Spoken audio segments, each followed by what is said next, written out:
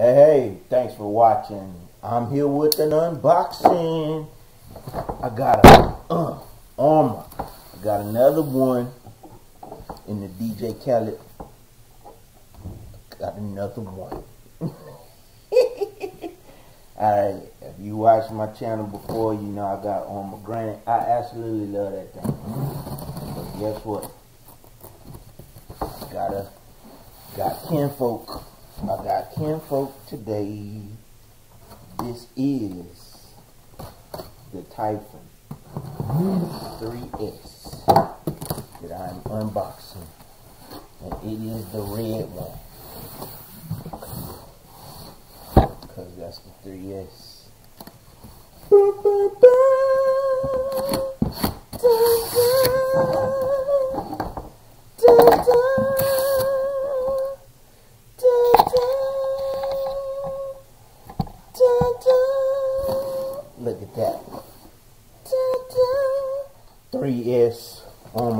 This is 1 8 buggy. Oh man. I know you've seen them all over the internet. But got one more. It's another one. Boom. I am so excited about this car excited because I've been watching non-stop Typhon video. Uh, I'm gonna have to change my lighting. Boom. Yeah. So, all the technical stuff. Uh, I'm not really gonna get into that. I'm so excited, but I will give you a picture so you can just freeze frame with the electronics. I'm not going to pretend like I care about any of that. I'm ready to open this thing up. Look at it. So let's cut the seed. But right now, let's get it out the box.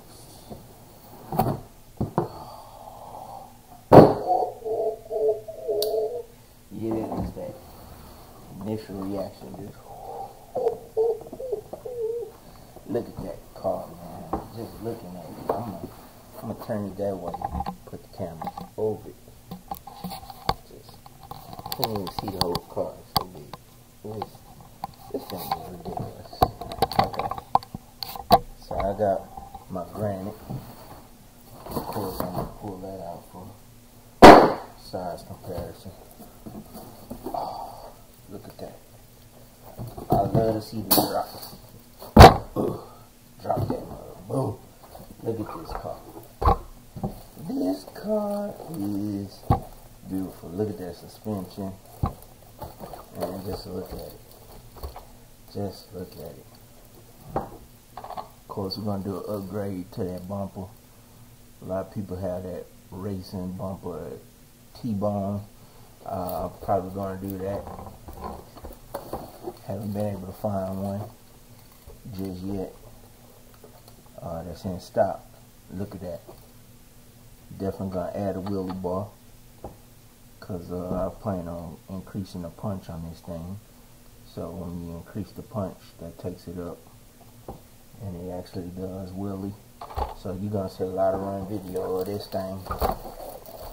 Man, look at that car. That's a beautiful car. And of course, in the bag, you got your, your tool bag and your manual. Okay, that's good. Of course, we got the, the controller, which is the SLT.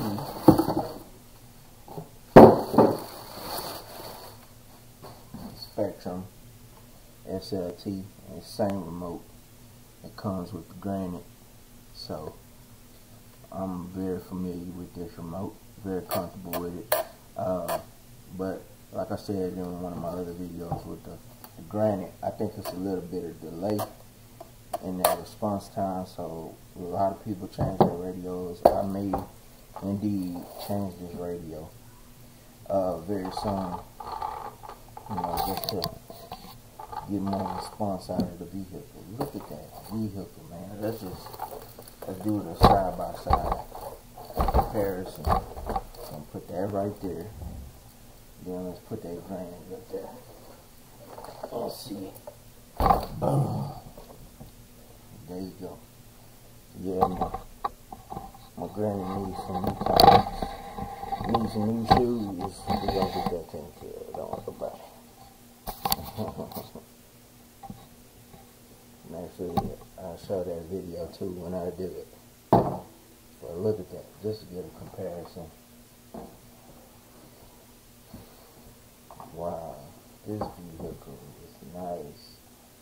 Man, it has a, a pretty good amount of ground clearance underneath it. I thought it was going to be low. And uh, this is the same chassis. It's the elongated chassis. Same chassis as the the big rock. Look at that. So you can see the distance, the difference there in the, the length. Let's do on top. Let's put the granite on top of it. Uh, they have about the same width in terms of the wheelbase. I think the the granite just looks wider because of the, tires. Oh, it's falling off because the body's not on. Yeah, I'm gonna do a video about this granite. Yeah, got replaced replace that uh spur gear in there because I've been grinding. I've been pushing it. Got a lot of video that I'm gonna post. That thing doing somersaults in the air off a launch ramp. But that's another time. I just wanted to show that comparison. Let's get back to this car. Man, look at that. That car just looks like it's ready to ride.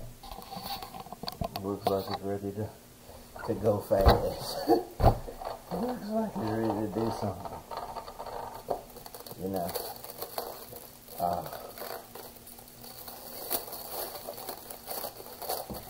uh, that's so satisfying right there. Right, I'm gonna just leave that on so I just to get the clips out. Gonna take the shell off. Look at these decals. It has stickers all on the body. It looks really good. Nice color. Almost like a graphite. You know, looking at it on the internet, you don't know that that's even colorful. A lot of people don't show you that detail right there. So I thought that was not even body cover right there.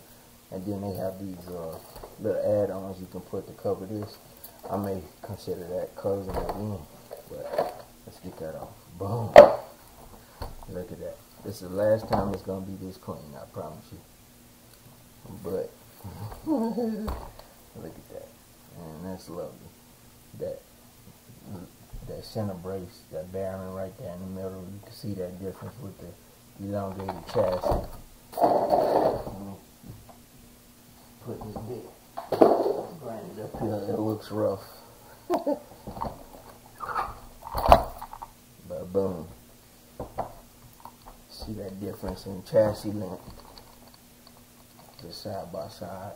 So you got a little more area here for the battery tray the electronics. You can, if you want to, you can upgrade and put a bigger motor in there and change out the ESC and all of that. But of course, all that's optional. Man, that thing just looks good. It looks like it's ready to ride. It has a nice low profile. I love that wing on the back. And it has the slits through it for aerodynamics, the force to keep the car down. And as you may have seen on a lot of videos, this vehicle rides and the wheels stay planted. But look at those big wheels. They feel really good. They have a lot of grip. I'm excited about taking it apart just to look at it. But I'm going to put it back. I'm going to keep everything stocked. And uh, I have a 3S pack. I'm not going to run this thing until tomorrow though. But uh, man, look at it. I'm ready to go take it out for a ride it just looks aggressive, but it also looks fast. It looks like it's gonna get somewhere quick. But anyway, that's just my first impressions looking at it. I'm so stoked about it. It feels really good in the hand and surprisingly it's lighter than I was expecting it to be. I don't know, for some reason I thought it was going to be heavy, but in comparison, it feels like the granite is a little bit heavier. Uh, even though it has a shorter wheelbase, it feels heavier. Maybe it's the tires that's adding that extra weight. I don't know. But this thing looks like it's going to get somewhere. So I'm excited to put it on this first run and be sure, be sure, be sure to come back because I'm definitely going to put some run video and then it won't be long you're going to see this thing flipping through the air. Uh, look at those tires. Oh man. Look at that rim with the Arrma insignia on there. That thing is fantastic. Let me get this focus See the Arrma on there.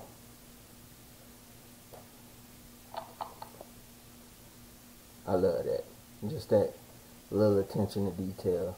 These are fantastic rims on this car.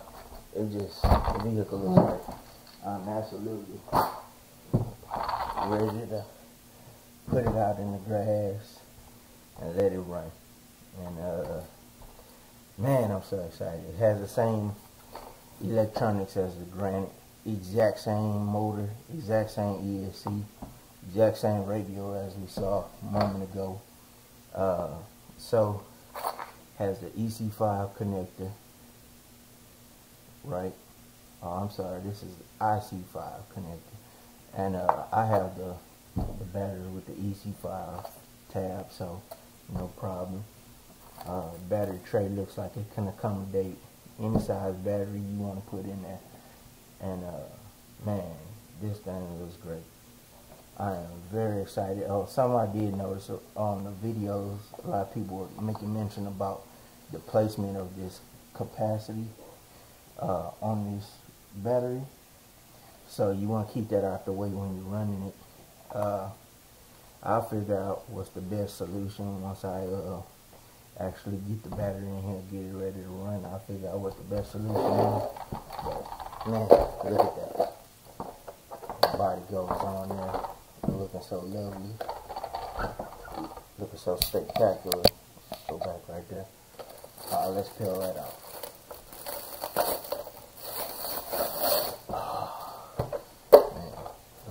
graphics. That car just looks mean coming at you. Stickers are well placed. And uh, I've seen people talk about, you know, making little slits in there with your little uh, Dremel tool or what have you for more aerodynamics and maybe some little slits on the side to let the air pass through. Uh, I may consider that. I'm not really looking to, you know, like amp this thing up much. I may put a, a different size pin in there. It comes stock 15 tooth pin. So I may put like an 18 tooth or 20 tooth in there just to try it out. But I'm not really interested in souping it up. I just want to have fun with it and, and uh, really get to the system. So this is my second one. very glad I got this one because I think the Dynamic Duo is a great starter combination. I'm new to the hobby, but I'm loving it. So I invite you, if you're on the brink, on the edge, don't know what you're going to get, without me even having driven this yet, get it. Thing looks great. Looks fantastic. Feels good. Looks like it's ready to take on everything I have to throw at it. So I'm excited. Till next time.